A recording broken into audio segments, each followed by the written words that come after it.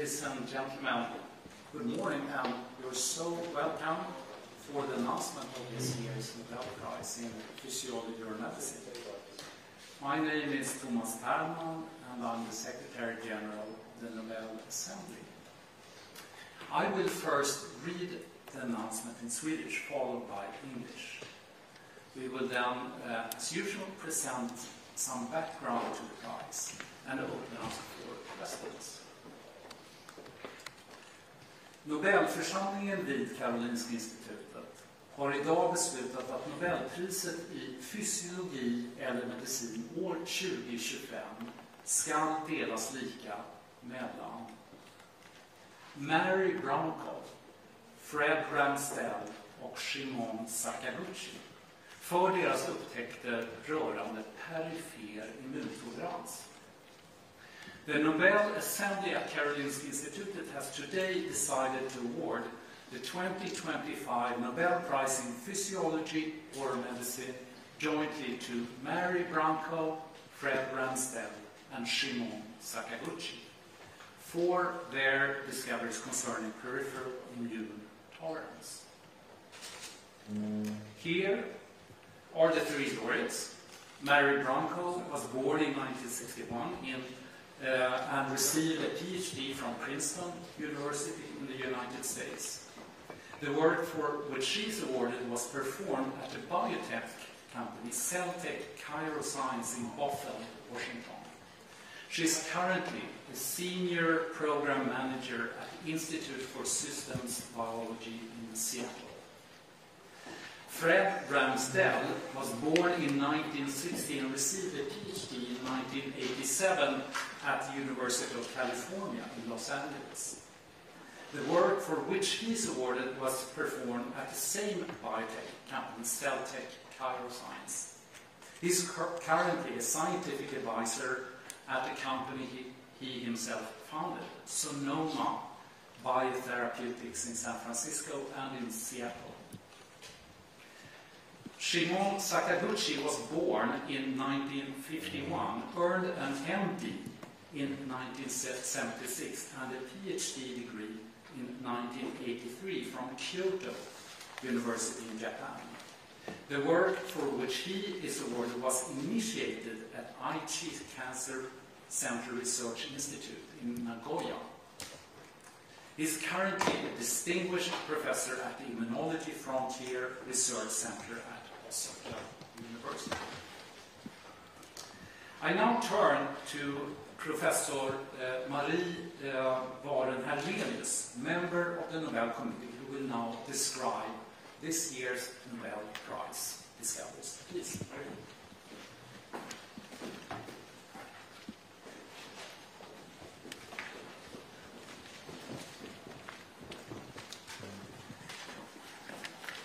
This year's Nobel Prize in Physiology or Medicine relates to how we keep our immune system under control so we can fight all imaginable microbes and still avoid autoimmune disease. Let me explain. We are constantly exposed to a myriad microbes and our immune system has developed to protect us from them. To detect all different varieties of microbes, existing ones and ones that may come, specialized cells in our immune system, the T cells, have receptors. We can form billions and billions of these receptors, all with different shapes that bind to different proteins. The T cells help us fight infection, and without them, we cannot live long. Among all this diversity, some T cell receptors will unavoidably recognize proteins and structures in our own bodies, so-called self-reactivity. These self-reactive T cells may become harmful and cause autoimmune diseases such as type 1 diabetes, multiple sclerosis, and rheumatoid arthritis. So how does our body solve this problem?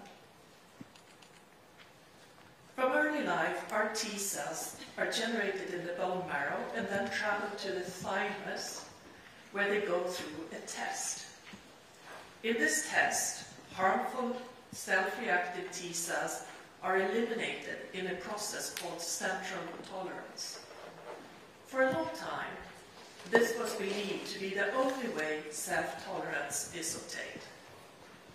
However, some self-reactive cells escape out into our circulation and are potentially dangerous. This year's Nobel Prize in Physiology or Medicine concerns the discovery of how those potentially harmful T cells are kept in check. The discovery started with Shimon Sakaguchi's interest in the phenomenon that removing the thymus from mice three days after birth led to an overreactive immune system which caused autoimmune diseases. However, if T cells from healthy mice were injected, the development of autoimmune disease was prevented. Sakaguchi realized that among these injected cells, there must be some cells that protect against the overreactive immune system and autoimmune diseases. He started a long search for these cells. Years later, he discovered that if the T cells to be transferred were depleted of cells with the cell surface protein CD25, this pool of cells would no longer protect against autoimmune diseases. But if the T cells with CD25 were also injected, the mice were protected. Sakaguchi called these CD25 positive cells regulatory T cells. Many researchers were, however, skeptical, skeptical about the existence of regulatory T cells. The critical missing piece would come from Mary Brunkow and Fred Ramsdell. They studied a mouse strain called scurfy because of its scaly skin. The scaly skin was part of the severe autoimmune disease the mice developed. Brunkow and Ramsdell wanted to find the mutation causing the disease. Other researchers had shown that the scurfy mutation was somewhere in the middle of the X chromosome. Today it's possible to map the mouse genome, the whole genome, in a few days, but at the time it was an incredible challenge and like looking for a needle in a haystack. Brunkow and still took on the enormous work of mapping the middle part of the X chromosome in detail and eventually established that the section of interest contained 20 potential genes. They then examined gene after gene. It was only with the 20th and last examined genes that they found the mutation. The 40th gene was previously unknown, but had many similarities with a group of genes called forkhead box or fox genes, and they named the new gene FOXP3. Brunkow and Ramsdell suspected that the rare autoimmune disease, IPEX, which is also linked to the X chromosome, could be the human variant of the scurfy mouse disease. To understand if that was the case, they analyzed samples from children with IPEX and found mutations in the FOXP3 gene. These findings connected the FOXP3 gene also to human autoimmune disease. These two key discoveries, Sakaguchi's identification of cells that regulate immune responses, and Brunkow's and Ramsdell's identification of the FOXP3 gene as important for keeping the immune system in control, indicated that the FOXP3 gene could be important for regulatory T cells.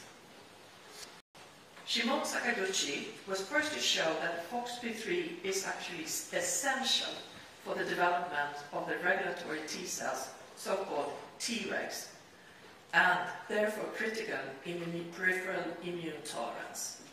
This was soon followed by reports from other scientists and unleashed a whole new field in immunology. Subsequent studies show that when autoreactive T cells get activated, the regulatory T cells act to control them, both through cell-cell contacts and by soluble molecules. In this way, immune tolerance can be maintained without deleting too many T cells, which could be needed for our protection against current or future microbes. The discoveries have spurred development of several potential new treatments. Clinical trials are ongoing to increase the number of regulatory T cells for suppressing unwanted immune reactions in autoimmune disease or following organ transplantation. This is done either by injecting growth factors that stimulate regulatory T cells or by multiplying regulatory T cells in laboratories, which can then be given to patients. The opposite approach is used in trials for cancer. Cancer cells can make use of our regulatory T cells to avoid immune reactions that could destroy the cancer cells. For cancer treatments, the focus is therefore on downregulating or destroying the regulatory T cells so that our immune system can act against the malignant cells. To summarize, Mary Brunkow, Fred Ramsdell, and Shimon Sakaguchi have provided fundamental knowledge of how the immune system is regulated and are therefore awarded this year's Nobel Prize in Physiology or Medicine for their discoveries concerning peripheral immune tolerance.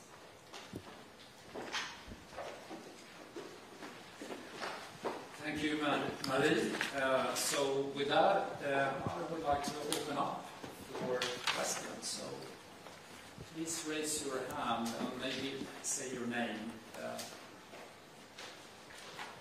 any question? Here we have one question. Yeah, Constantine from Associated Press. Have you managed to reach one of the laureates today on the phone? Yeah, you, you said it exact, exactly right. I was able to reach one of the laureates, uh, and that, that was Shimon Sakaguchi, who I reached. Um, uh, he, uh, uh I, I, got hold of him uh, at, at, his lab, uh, and um, he, he sounded incredibly grateful, um, expressed that it was a fantastic honor, and he, he, was quite taken by the news. Fortunately, I had a lot of information to give him, so that worked out okay. Unfortunately, I wasn't able to reach any of the other two. They are probably, we have uh, their phone numbers, but they're probably on uh, silent mode, and uh, I asked them to, if they have a chance, call me back. One else? Yes?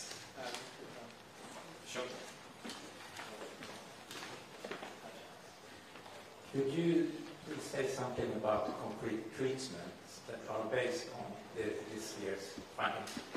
Yeah. Uh, so I, will give the word to, uh, yeah, and I, I, forgot to introduce also, we have two additional experts here. Uh, Gunilla Hedestam, uh, member of the Nobel Committee, and also Olle chair, uh, chair of the Nobel Committee. And Olle, if you could take that first question. Yes. Well, what you have sorry, what you have to realize is that this year's Nobel laureate get the prize for discovering a principle, the principle where peripheral tolerance is mediated by T regulatory cells that are FOXP3 positive. So, having that said, there is quite a lot of development going on but it's still early studies, uh, which are both uh, some negative studies and some uh, studies that in an early phase has given positive results. Like, for example, stimulating of the IL-2 receptor in patients with atopic dermatitis. So the IL-2 receptor is the same as the CD25. So, and there is a lot of CD25 on T regulatory cells, and then you can stimulate them, you expand them, and you get more Tregs. Uh, that's one study that has worked, but there are many more alternatives using uh, uh, genetic methods to insert specific T cell receptors. If you know what the receptor against a specific autoantigen is, you can get much more forceful T regulatory cells. Or you can use the CAR T principle. You, you add genetically an antibody to the area where you want this suppression to occur. But as I said, we are in early days. More? Here we have one, yes.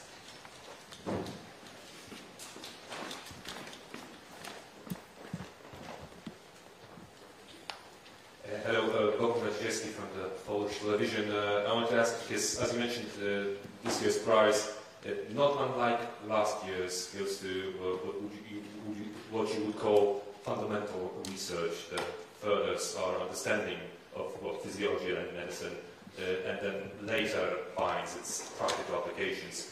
Uh, why does the Nobel Committee decide to once again uh, emphasize uh, this area, this kind of research, as uh, fundamental in science. Thank you very much. Maybe I could just briefly uh, answer that. Uh, thi- This is a prize in physiology or medicine. And as you say, I mean, they're tightly connected because physiology knowledge leads to uh, medical treatments. And uh, actually, as Olle mentioned, there's a lot going on. There are currently over 200 clinical trials uh, involving regulatory T cells. Uh, and it starts there. But you're absolutely right. This is the price for a fundamental new discovery and understanding. Uh, and it's a mix of that. We, we don't deliberately take uh, a decision that this year it's going to be this or that. We, we always take the most suitable proposal that we have uh, scrutinized and, and uh, reviewed sufficiently, and that is really worthy of an Nobel Prize. Any more? I know people are usually eager for their interviews, but maybe you have something you're curious about that everyone else will be as well.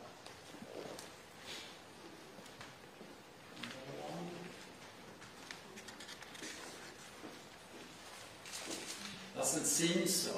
Uh, and uh, then we thank you very much for coming. And uh, those of you who have planned interviews are welcome to find your location and we will help everyone as rapidly and fast as we can. Thank you so much.